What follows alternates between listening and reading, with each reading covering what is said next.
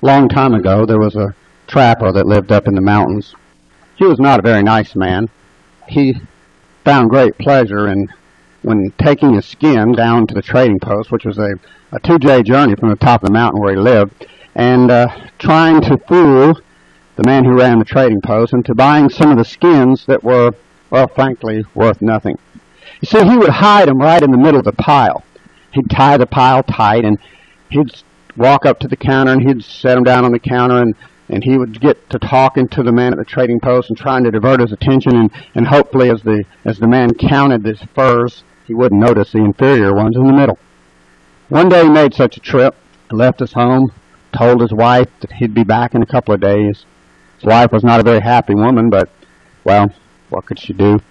Lived on top of this mountain with this man who was unfair to other people, cheated people whenever he had the opportunity, hunted on Indian land where he wasn't supposed to, set his traps in the rivers that were not supposed to be trapped, took furs, pelts from animals that were of no value, just killed them hoping that he could get something out of the furs by cheating somebody. Well, he came down the mountain to the trading post, and he had those furs bundled tight, and he had one particular fur that was from an old, old gray fox. It was tattered and worn and even had a few bald spots here and there. It had been an old fox. There hadn't been any reason at all for him to kill it. But he'd shot it right between the eyes. Skinned it anyway. Put that pelt right in the middle. Kind of rolled it up a little bit so you could just see the corner of it so it'd get counted. The man that ran the trading post over the years had gotten wise to the trapper. He had a pretty keen eye. As that trapper set those furs up there and began to talk about the weather and the rain and the beavers that year and all those things, the old trapper, he listened. He listened as the man counted the furs. The man that ran the trading post stopped in the middle of the bundle, reached in and yanked that old ragged fur out, tossed it down on the corner. You must think I'm a fool. I wouldn't give you a penny for that old fur. Huh, that must have been a mistake. I didn't mean for that one to be there. I was going to throw that one away. I'm sorry, that was an accident. Uh, the man around the trading post just uh, chuckled. He knew it was no accident. Then he went on counting. The rest of the furs were pretty good. Gave the trapper a fair price, sent him on his way. Don't forget this piece of junk. And he tossed that old fur at the trapper. He caught it in one hand, tossed it across his shoulder, stomped out the door. Oh, it made him angry. Made him angry. He could have at least gotten 50 cents for that fur. Oh, that old guy that ran a trading post, he was just getting too, too smart for his own good. He'd have to start taking his furs elsewhere. Well, what was he going to do? I think he might as well just toss this old piece of junk away. He grabbed it and went to throw it in the bushes. He heard a cough next to him. turned over and looked, and there, there sat an old Indian man. Why, he looked like he was a hundred years old, leaning up against the side of the trading post. Old tattered blanket wrapped around his shoulders. You could tell by looking at him that his eyesight was none too good. Skin on his fingers was wrinkled and hard and calloused. The trapper thought a moment. Old man! Hey, old man! yeah? What do you want? You know, I've got something here for you. I, I saved it just for you. I saw you when I come in. I got here for you the finest fox fur that's ever been took on this mountain. Oh, let me see. Trapper walked over, held that fur out. He held the, held the worst part towards himself. Let the one good part kind of hang down. You know, the man in the trading post wanted to give me a dollar for this fur. A whole dollar. I told him no. I was saving it for my friend outside. Uh, it seemed like a, a nice fur. He ran his callous fingers across there. His eyes were so bad he couldn't see the, the worn spots, the bald spots. Why, I told I told that man in the trading post this would be just the thing for that friend of mine outside to drape over his shoulders and keep warm on these cold mornings. Knowing good and well There was very little warmth left in that tattered old fur. Well, that was mighty nice of you to, to give me this. Why, I would indeed, I would indeed like to be able to give it to you, but, but you know, it's been a lean year. I, uh, I wouldn't, uh, I wouldn't sell it to the, to the trading post man for a dollar. I'll let you have it for, for fifty cents. Oh, fifty cents. Uh, I, I, I'm got no money. No money. Such a fine fur as this, too. Oh, I, I'd, I'd like to have it. Oh, I know, but oh, I tell you, it's been a lean year. Why? You got something something to trade for it, maybe? Got something of value? I, got nothing but this old blanket. I am, I'm afraid, old man, that ain't much. I wish we could work out a deal, but well, wait a minute. What's that around your neck? The old man reached up, grasped, and held his hand. Uh, this, this here's a, this is a, a, a, a magic arrowhead, but I can't get rid of it. A magic arrowhead, I hear. old man, you wouldn't be trying to spook me, would you? Get me to give you this fine fur for that old piece of flint around your neck? You wouldn't be trying to fool me by telling me it's magic, would you? You know I don't believe in magic. Why? It, it, it, it it's magic. It,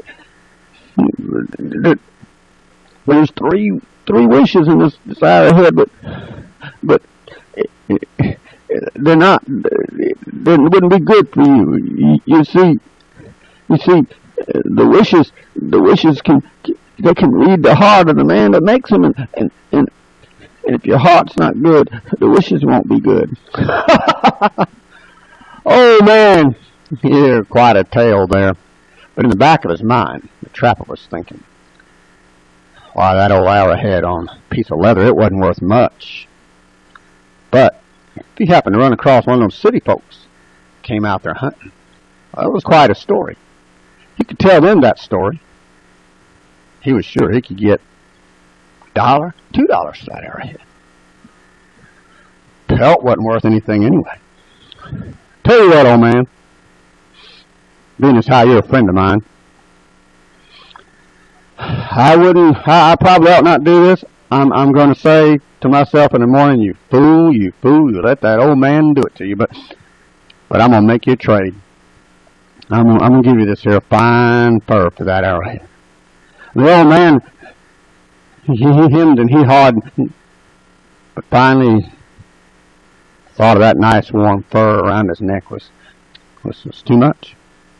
So he made the trade. Well, the trapper, he took that arrowhead, he drew it over top of his head and let it hang down there. Went about his way. Didn't even give it another thought.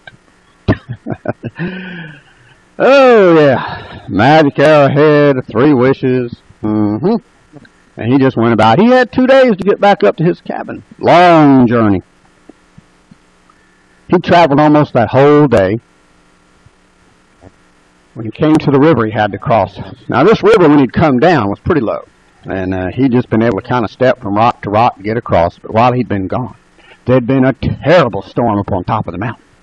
And it had rained and rained and the water had swollen that little old river into a big, wide, raging torrent. There was no way he could cross. It'd be days before the river got low enough. Wow. I'm going to be sitting here for days waiting for this river to go down. Oh, man. I just, I wish there was a way to get across that river. Suddenly, behind him, he heard a crashing sound and he just had time to jump out of the way when a huge tree fell across the river from one side to the other. That thing like to kill me. Then he realized, huh, he had a bridge across the river now. What luck! Picked up his sack, got halfway across that tree. Suddenly dawned on he had wished he could get across the river. And the tree had fallen. Like, like, like magic. Like, like his wish had, had come true. He reached up and he fingered that arrowhead. Could it be? Could it be that it really was magic? That there really were three wishes? He danced right across that log to the other side. What a lucky day for him. Why now, he wouldn't even have to trap anymore. Up on that mountain, up on the top, was full of gold, and he knew it. But it was Indian land. Couldn't go up there without getting killed or arrested for being on Indian land. But now, now, he could wish for all that gold. If he had to, he'd wish every one of those Indians dead off of that mountain. Better yet, he could wish that gold to come right out of the ground and pile itself up. He could just walk up, pick it up. Whoa, he was going to be a rich man. Live in one of them big houses. Do what he wanted to. Have power.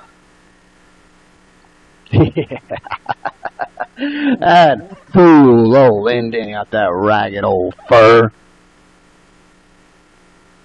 He began to walk through those woods tall, happy and proud, possessor of two wishes, anything he wanted. Pretty soon it was starting to get dark. He began to get hungry. So he stopped and built a fire, reached in his pack. His food was gone. Oh, it must have fallen out of the pack when he jumped out of the way of that tree. Oh, man. It's almost dark. Don't have time to shoot nothing. Can't trap nothing. I got another whole day to get back up to my cabin. I might starve to death. But wait a minute. He had two wishes. He could use one of them for some food. I'd still leave him one. If he wished for all the gold in the mountain, why, he wouldn't need any more wishes. He sat back and thought, what should he wish for? What would he like to eat? Well, one them big, thick steaks that they made up down there town. Or got one of them big old fat cows and cut him a big old thick steak and broiled it on the grill. Maybe one of them, one of them fancy dinners, like in those places he never could afford to go in. No, he was going to wish for something, he ought to wish for what he liked. And there was nothing he liked better than a nice, big, thick, juicy bear steak cut right off the flank. Loved that bear steak. Yeah, yeah. I wish I had a bear steak. So confident was he in his wish. He got out his pan, scraped some coals away from the fire, set that pan down there, got it all ready to go, sat back against a tree and waited, watching that pan, expecting that steak to just right there in the pan.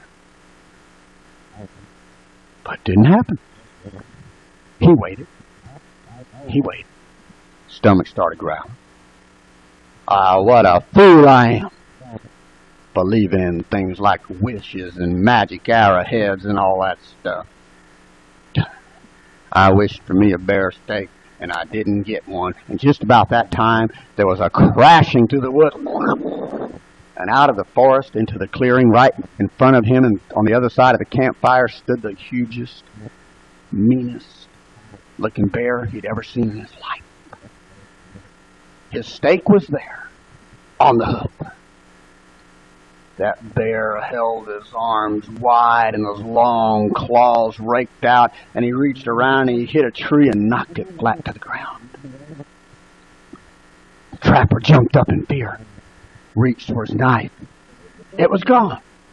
He must have dropped it too. That bear came around the fire, and the trapper moved the other way, and they circled around and around that fire. And the trapper thought, what could he do? There was no way he could outrun this big of a bear. He couldn't get to a tree in time to climb it. He was a dead man. But he did have one more wish. But that wish was for his gold. what good would gold do a dead man? He could always, he could always poison the Indians' water or, or, or sneak up there at night and, and, and, and get that gold. If he was alive, if he wasn't alive, he couldn't do nothing. So that bear came around that fire, he started backing toward the trees, and his back was soon up against the back of a tree, and that bear came closer, and he could feel the hot breath. And he said, I wish I could beat this here bear! All night long to the forest was a terrible battle. The crashing, the smashing of trees. Whole parts of the forest leveled to the ground as a two fought. All when morning came, there in the clearing stood the trapper. The great bear lay dead on the ground. Trapper stood up tall and proud. Why, he was strong enough to defeat that bear. He was strong enough to do anything he wanted to do. Why, he didn't have to worry about that gold. He'd go up there and take whatever he wanted. His newfound power and strength. He let out a big roar. he started marching up towards his cabin. Nothing got in his way. He shoved boulders. He pushed trees down. As he came into the clearing, he called out to his wife, One, come on, cabin! The woman inside heard a very strange, terrifying sound. The trapper stood there and watched as the cabin door opened. And the woman stepped out, then quickly slammed the door back shut again. Trapper started marching across the yard. Didn't know what was going on, but that woman was going to pay for this. And suddenly the cabin door came open again. A rifle barrel stuck out, and whoa! Trapper fell dead with a bullet right between the eyes. His wife was a very good shot. Then the door of the cabin slung open all the way, and out marched the woman with a long skinning knife. Why, when her husband got home, wouldn't he be proud? She'd killed the biggest bear in the entire forest. The trapper, he'd beaten the bear by becoming one. He had also had his wishes answered, just like the Indian had said, by his heart.